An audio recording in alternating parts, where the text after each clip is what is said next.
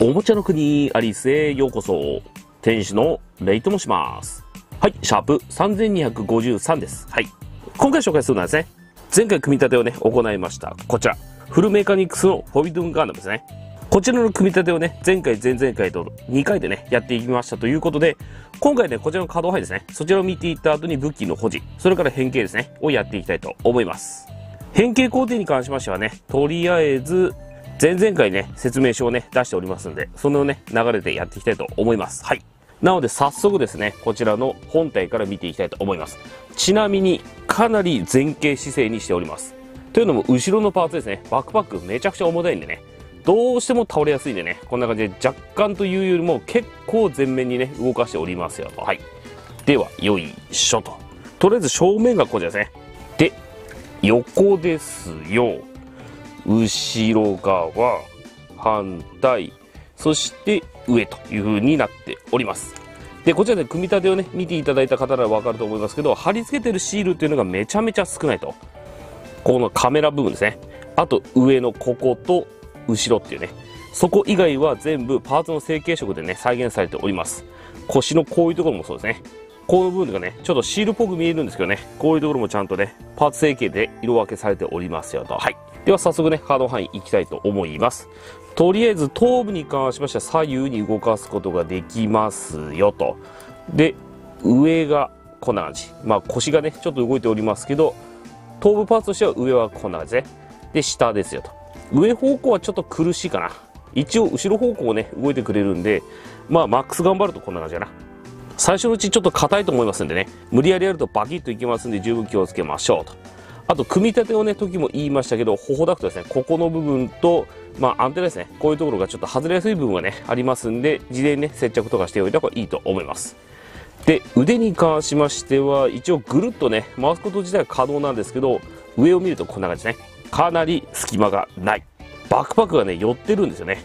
これは組み立て工程でね、ここまでってなっておりますので、こうしておりますけど、変形の関係でね、こういう風に後ろ方向にグイッとね、逃がすことができるようになっておりますので、ここの後ろのアームですね。ここをグッとね、外に逃がしてあげると。そうすると、隙間がね、ある程度できるんで、まあ、こんな感じでね、逃がしつつ腕を動かすような感じだと思いますよと。はい。で、一応この状態でね、前に出したりとか、水平もできる二の腕のロールですね。で、肘の曲げができますよと。で、手首パーツね、いつもの通りポチッとはまってますんで、グリグリと。で、あと根元のカードですね。ここの部分がちょっと分かりづらいですけどね。ここの部分を見ていただきますと、ぐっと動いておりますんでね。この部分のカードをね、うまく使うことによって武器をね、両手でしっかりと構えることができるという風になっております。接続点自体はボールでグリグリ。あと変形の都合上ね、ここをぐっとね、引き出すことができたりしますよと。なので、ここの部分引き出したりとかね、こうですね、することによって、上とかね、下の可動もできますし、ここ自体をね、ぐっと前に出すこともできますんでね、これによって、前後の可動もね、できるという感じになっております。ただ、最初のうちめちゃめちゃ硬いと思いますんでね、ここの部分は、慣れてくるまでは、まあちょっと厳しいかなと。で、ここですね、シリコンスプレー打ってもいいですけど、下手に打ちすぎるとね、今度スルスルしすぎて、まともに構えられなくね、なってしまいますんで、十分気をつけましょうよと。はい。で、左右共通でしたと。で、ボディに関しましては腰のスイング。あとは一応内部パーツですね。ここの部分引き出しがね、ありますので、そこの部分を利用することによって、ここですね、グイーンと伸ばすことができて、ここで前後ですね、こういう可動ができると。ただ、背中が重たいんでね、伸ばしすぎると重量に負けてね、バタンといきますんで十分気をつけてあげましょうよと。で、サイドアーマーは一応ここでね、前後の可動と跳ね上げができますよ。フロントアーマーも同様と。で、リアアーマーは全体的にカパカパ動くという感じ。足に関しましては接続点ですね。ここのところで前後、もものロールができますよと。で、あと、連動になってしまいますかね、この部分をね、ぐっと下げたりとかすることによって、可動域の向上がね、できたりとかしますよと。あと、腰の接続点ですね。この部分で前後、ね、ぐっと動く感じになっております。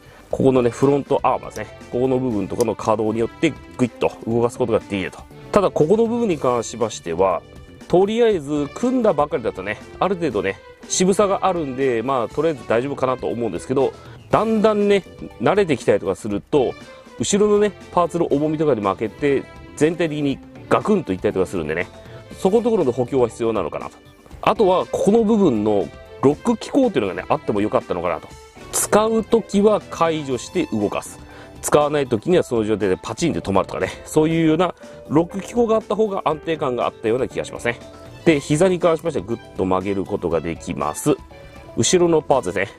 ここのバーニアノズルのところもこんな感じで稼働させることができますよと。ガバッとね、動かすこともできますし、この状態でぐっと曲げれば、自然に押されてね、こんな感じでペチャッと潰れて、可動のね、支障にならない構造になっております。足首はこういう可動とひねりですね。で、あとつま先の伸ばしっていうね、こういう感じの可動がありましたと。はい。まあ、足回りの可動はね、とりあえずそこまで問題はないのかなとは思いますが、どうしても上半身がね、特にバックパックが重たい。あと、組み立て手順通りにね、作ると、どうしてもここの隙間がね、なくなってしまって、かなり狭くなっておりますんでね、ここの部分は、まあ、変形の機構がね、ありますけど、ある程度こういう風にね、逃がしておいた方が腕回りのね、可動域は広くなると思います。はい。基本的な可動範囲はこんな感じ。で、後ろのパーツですね。まあ、ここは後々をね、変形の時もやりますけど、ここのアームをね、利用することによってぐっとね、伸ばすことができますよと。で、これ伸ばした時に、このね、メッシュパイプですね。この部分、特に中にね、ワイヤーとかが入っておりませんので、そこまでね、引っ張られるっていうことはないかなと。ただ逆に何も入ってない関係でね、思ってても変な方向に動いたりとかね、癖がついてて、こんな感じでね、ペローンってなったりとかね、変な形になりやすい感じがするんで、ここの部分はね、気になる方は、組んでる段階でね、中に細いね、金属線とかをね、入れておいた方がいいと思います。はい。まあ、こんな感じでね、伸縮ができるようにはなっておりましたよと。はい。一応ね、こちらの部分のお話もしていったと。あとですね、バーニアノズル。後ろのね、ここの部分も一応ぐりぐり動かすことができますが、ここのですね、グレーの部分。ここはね、接着しておいた方がいいですね。なんか触った時にこうね、スポンとこういう風に抜けるんでね、こういうね、外れやすい部分とかに関しましては、あらかじめね、接着とかしておいた方がいいと思います。はい。以上、こんな感じ。まあ、見ていただくと分かるとね、この部分、引っかかってますね。なので、これをぐっとね、後ろに下げたりとかしなきゃいけないので、まあ、これがちょっとね、大変かなっていう感じだと思いますけど、まあ、基本的な可動範囲はこんな感じでございましたよと。で、こいつ、アクションベースにね、乗せたりとかするときには、そのストンとね、乗せられないので、ここにね、ポジションがありますんでね、ここの部分に対して付属のですね、パーツをパチッと入れてあげて、それに対してアクションベースをね、つけるという形になっておりますよと。はい。まあ、一応、こんな感じ。ではね、次に武器の保持ね、行ってみようかなと。で、武器の保持に関しましてはね、まあ大体いつもと同じ感じにはなっておりますけど、まあ手首パーツですね。これを交換して保持させると。で、その時に交換するのが指のこっから取るんですよね。この方式。これはまあ、さっきからね、言ってる通りですけど、組んだばかりだととりあえず大丈夫なんですけどね。だんだん劣化してくると、これだけ重たいんでね、このでかいやつ。ニーズヘグですね。これをキープさせるのはね、かなりきつくなってくると思うんでね、できることならこの指交換式のタイプ以外に最初からギュッとね、こことここをね、保持させるみたいな、専用の手首パーツっていうのがあってもよかったような感じがしますけどね。まあ一応こちらね、ニーズヘグっていうのがありますよと。はい。で、先にこいつの外観ですね。一応こんな感じですね。こうなってて、まあ後ろっていうかね、あと先端があったりとかね、こんな感じの釜がありますと。で、取り付けるのは先ほども言った通り、この辺のね、段になっているところに対して指をセッティングして本体に組み付けると。で、あと、こいつに関しましてはね、この状態でね、使わなければそれにポイとしておくんではなく、先端ですね、ここの部分がゴキッと曲がりますと。で、この状態でね、ここか、ここですね。こちらのね、マウント部分を利用して、このね、バインダーのところに組み付けることができるという風になっております。で、まあこれ組み立てをね、時も言いましたけど、刃の部分ですね。ここの部分。ここのシルバーと、まあこのね、輝きがちょっと違うと。これはですね、塗装とかシールではなく、もともとこういう成形になっておりますんでね、こういうね、他の部分とは違う、ちゃんとしたね、刃の部分をね、パーツで再現しているのはいいと思いますね。はい。一応こんな感じ。で、マウント部分は先ほど言った通りね、こちらね、こういう風に畳んだ状態にして、ここのバインダーですね。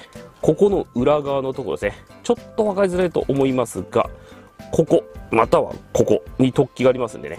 そこの部分に対して、こいつをね、ブスッと差し込んでマウントさせることができると。はい。こうすることによって、両手にね、何もつけてない状態でも武器をね、その辺にぶん投げておいて終了ではなく、ちゃんとね、格納した状態にできるってね、こんな感じになっておりましたと。では、保持いってみようかなと。で、まあ、保持に関しましては先ほども言った通りなんですけど、指パーツをセッティングすると。で、指パーツセッティングするときに、この手首パーツっていうかね、もともとついてるやつではなく、別なやつですね。こちらにありますんで、これを使いますよと。で、これに関しましてはね、こうして、あとここにぐさっと刺すだけですよと。ただちょっと気になるのはこれ、ちょっと丸いんですよね。なので、ここ辺でね、くるくる回る可能性がありますよと。で、まあ一応軽くね、こんな感じでセッティングできましたので、あとはここに対してね、ブスッと差し込むだけ。親指がですね、ある程度開いておかないと、組み付けにくいかなっていう感じがあったりとかするんで、まあ十分気をつけてね、ズボッと差し込んであげると。一応こうやって入りましたと。で、まあ入ったことによって保持はできますが、まあさっきもね、言った通り、ちょっとここでくるくる回る感じがしますんで、まあ十分気をつけておいた方がいいかなと。一応つけるとこんな感じになっておりますが、今のところね、組んだばっかりなんで、全然ね、しっかりと保持しておりますけど、これが劣化してくると多分この辺からね、パラッといくんでね、何かしらの補強だったりとかね、改造はね、必須なのかなと思いますね。はい。一応取り付けるとね、こんな感じになっておりましたよと。はい。ではですね、こちらね、変形させていきたいと思います。高速教習形態っていうね、やつにしたいと思います。で、とりあえず、手首パーツごと外します。後でね、最終的にまた戻したいと思いますが、とりあえず本体に関しましてはね、まあこの状態。ちょっと足回りがね、結構ね、ここ、特にシリコンスプレー流したわけではないですけどね、ちょっと弱めですね。もうちょっと補強が必要なのかなと思いますが、とりあえずね、素の状態にしますよと。で、そしたらですね、後ろのパーツをグイッと動かすと。今この状態ですね。ほとんど動いた感じになっておりますけど、まあ、ここのポジションぐらいになるように動かしてあげますよと。まあ、これ自体は先ほどもね、動かしている通り、上からグイッとね、中のアームパーツを利用して動かすと。で、これがね、用意できましたら、横の、こちらですね、シールドっていうかね、これをね、アームを使って横にマックスまで伸ばせと。ここの部分をね、グイグイっと動かして、こんな感じでね、大外に張り出してあげると。で、これができたら、外っていうかね、ここに配置されております、こちらの棒ですね。こいつをぐっと内側にね、寄せろと。で、このパーツ自体は中に入れるっていう感じみたいですね。で、ここの位置ですね。ちょうどバックパックと本体の間ですね。ここまで動かしてあげましたら、この状態で180度回してね、グイーンと伸ばしてあげると。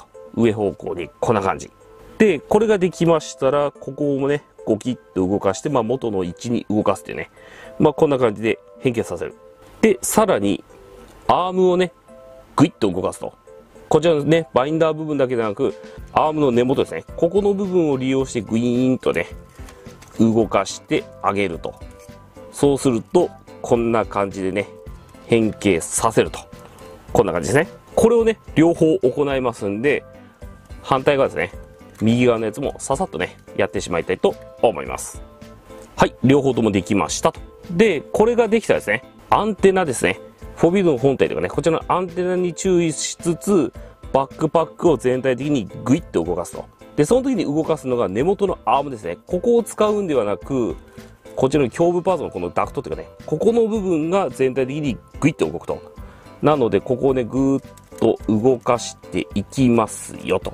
で、そうすると、頭ですね。これも一緒にぐーっとね、沈んできてくれますので、こんな感じでね、動かしてあげると。で、これがですね、マックスまで入ると、ここまでね、動くって感じかな。さらに、アーム自体をね、全体的にギュッとね、縮めてあげて、頭をね、隠すようにするという感じかな。ここでグイーッとかぶせるっていう感じかな。はい。はい、調整したのがこんな感じかな。ここまで下げてあげれば、これがですね、教習形態という感じになりますよと。で、あとはね、横にビヨーンとまっすぐ伸ばしてるだけのね、こちらのね、アームパーツですね。ここの部分を、まあ、ある程度ね、ここでグギグギッとね、曲げたりとかして、まあ、表情をつけたりとかね、内側に寄せたりとかしてあげた方が、まあ、かっこいいと思いますんでね。まあ、この部分の調整は、まあ、好みかなと思いますけど、こんな感じで動かして。で、あと、まあ、外しておりますよね。手首パーツのところに、こちらね、ニーズヘグですね。これを取り付けて。で、まあ、片手でね、保持させるのが厳しければ、反対ですね。左手も使って両手で持ってあげればいい感じかなと。はい。まあ、実際やってみて、もうちょっとね、寄るかなと思ったんですよね。なんかマックスでここまでしか行かないんで、一応ここまで行けば OK かなと思いますけどね。一応こんな感じになっておりましたと。で、あとですね、こことこことこうですね、中のところに爪がありますんでね、これをひねってあげて、こんな感じで展開することができると。一応ね、こっちもありますんでね、この部分もグイッと動かしてあげると。で、ここですね、動かすときに、まあ、ここのですね、細い板というかね、ここの部分を変な感じで持つとね、パキッといったりとかね、あとぐんにゃり曲がって白化する可能性がありますんでね、十分気をつける必要性はありますけど、こんな感じで先端部分ね、展開できましたよと。はい。まあ、なかなかいいんじゃないかなと思います。